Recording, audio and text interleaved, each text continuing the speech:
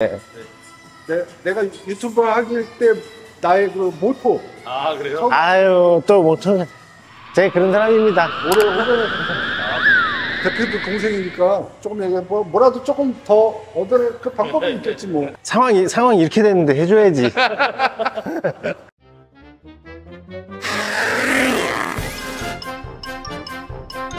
Triumph 인천 매장에 구경 왔습니다. 뭐 보러 왔어? Speed Twin 900, 1,550만원? Triumph T100이랑 T120 뭐 그런 건가 보다. 네, 맞습니다. 약간 포지션이 클래식은 아니고 약간 naked스러울 줄 알았는데 나는 이렇게 보니까 클래식이 좀 더 가까운 것 같다. 앉아보면은 다리 약간 이렇게 뒤쪽으로 가요. 그러니까 스텝이 이 정도 있어야 되는데 뒤로. 조금 뒤로 갔네. 네. 얘가 좀 낮은 것 같다 느낌이. 얘가 훨씬 낫더라고요. 그지? 딱 봐도 낮아 보여. 착지성은 좋겠네. 네, 발착지성은 너무 좋습니다. T100 타는 형 거 보니까 이게 구조나 이런 건 똑같은데 그리고 헤드라이트도 똑같고 결국은 그냥 조금 저중심 설계되고 스텝 좀좀 밀어가지고 그 밀착해서 naked스럽게 탈 수 있는 그게 Speed Twin이구나. 네, 맞습니다. 그게 또 T100보다 3, 40kg가량이 경량화돼가지고 이게 경량화되면은 똑같은 출력이면은 민첩하다고 느껴질 거야. 네, 맞습니다. 조금씩 조금씩 다르구나. daylight가 들어가 있어가지고 아, 어쩐지 이게 조금 달라. 여기 구조가 좀 다르고, 계기판도 다르고, 요거 스택 마음에 든다.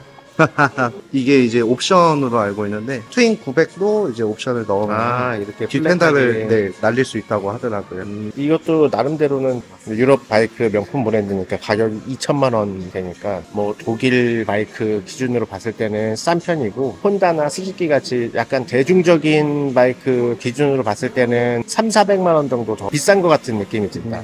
Triumph는 이름 자체가 약간 차로 치면 랜드로버 같은 약간 명품적인 느낌이 좀 드니까 그리고 또 클래식 바이크에서는 또 알아주잖아. 네, 맞습니다. 야, 근데 이거 Triumph 나는 몰랐는데 라인업이 엄청 많구나. 그럼 죽인다 이거. 이 오토바이 죽인다.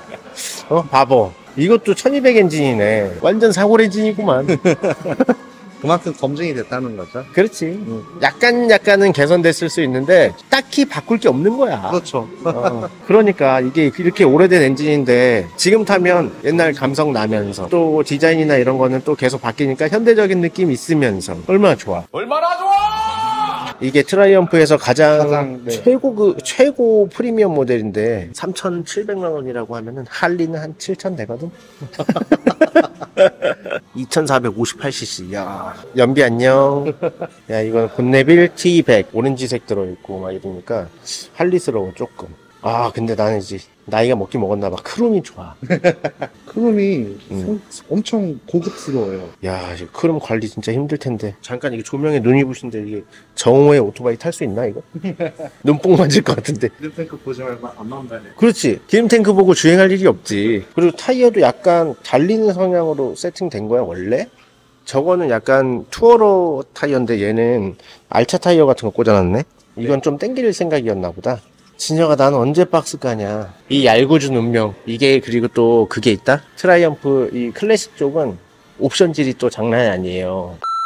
이런 거 chain guard나 peg 이런 것도 다 옵션인데 거의 사람들이 필수로 하는 튜닝은 요거 시트.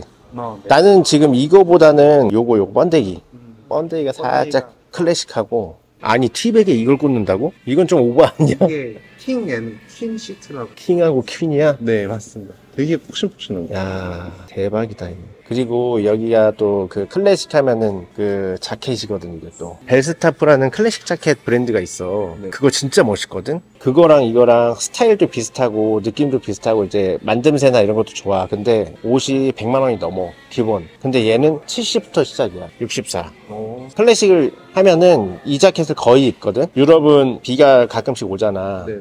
그러니까 물 튕겨내고 이런 거. 너 캠핑 좋아하니까 알겠지만 이- 이런 용품이나 이런 거 약간 코팅돼 있는 거 빨고 쓰는 게 아니다 네, 보니까 맞습니다. 이런 원단으로 이렇게 왁싱 자켓을 많이 입는단 말이야. 이거를 입어보니까 좋더라고. 벨스타프는 보호대가 없어. 근데 얘는 보호대가 있어. 네. 이거 이거 이거 뭐더 어, 뭐, 뭐라고 하더라? 아, 미니에서 그거라고 하는 미니에서 브레이크 등 그 네. 이름 알지? 유니언 잭. 아, 맞습니다. 그지? 네, 아, 잭. 어우, 나이 먹으니까 기억이 가물가물해. 잉방 아니야. 잉, 유니언 잭. 멋있잖아. 강서점 행사 때 이게 50% 행사했었어. 와, 엄청 고민했다, 진짜. 내가 생각했을 때 이렇게 완전히 클래식한 자켓을 선택하는 거 아니면은 이런 류의 자켓들은 그냥 범용 브랜드 유명한 거 쓰는 게 좋아. Alpinestars나 Dainese 이런 거, 네. 포미네 이런 거 써야 이런 것도 봐봐. 이거, 이거 되게 많이 입는 그 스타일의 자켓이거든? 근데 이거 Triumph잖아. 네. Deus 자켓하고 원단은 좀 다른데 구조는 똑같아. 근데 만약에 Deus를 샀다. 그러면 바이크 아무거나 타도 돼. 그런 이런 점이 있다. 그리고 이런 건 이제 그냥 패션으로 입는다고 생각해야 돼. 아, 왜냐면 달릴 때 이게 헬멧을 엄청 때리거든. 네. 그러니까 이게 아예 그냥 고정이 되던지 이 아니면은 뭐 이렇게 빗을 올려서 타던지 해야 되는 거라 여자 옷인가 보다. 조금만. 어, 여자 옷이 확실히 아담하고 이뻐. 난 CB를 타고 있는데 여기 CB에 어울릴 만한 뭔가 없네. 브랜드마다 왜 할리도 그렇고 BM도 그렇고 얘도 그렇고 이렇게 apparel이 같이 있잖아. 네. 유일하게 오토바이는 겁나 파는데 apparel이 없는 애들이 일본 오토바이들. 혼다, 스즈키, 야마, 가와사키. 걔네 apparel이 없어. 있긴 있는데 잠깐 뭐 타 브랜드하고 잠깐 콜라보해서 자켓 조금. 팔아서 장사하는 게 아니라 얘네들은 오토바이 팔아서 장사하는 거지. 할리도 마찬가지고 할리 오토바이 사면서 옷 사면서 이렇게 딱 깔맞춤을 해야 간지가 또. 맞습니다. 맞춰줘야 돼. 이런 것도 다. 어차피 그 유명한 아까 얘기한 그런 알파인 뭐 다이네즈 이런 거 다 콜라보거든. 제조사가 똑같아. 근데 요거 달아서 나오냐 이 차이지. 용접 장갑 아니니? 불멍할 때 쓰는 캠핑에서. 불멍할 때 쓰는 자. 이거 이런 거는 그 네, 트, 트레이더스나 코스트코 가면 잔뜩 있다. 세 켤레 5만 원이다. 맞습니다. 우리 유석이 티셔츠 이런 거 입고 다닐 때가 곧 오겠구나. 자, 여기 인천점에 오면은 트라이엄프 라인업을 다 한눈에 볼 수 있고, 그리고 apparel도 많이 있고, 강서점에도 있지만, 여기 또 우리 아는 분들이 또 있으니까, 만약에 바이크 신차를 내리고 싶거나, 트라이엄프 브랜드에 대해서 좀 시승을 포함해서 다 궁금하신 분들은 이쪽 인천점에 오셔가지고, 유리나무 유튜브 이름 팔으셔도 되고 여기 계신 어, 빅선 라이더님 이름 팔아도 굉장히 환영받을 수 있을 겁니다.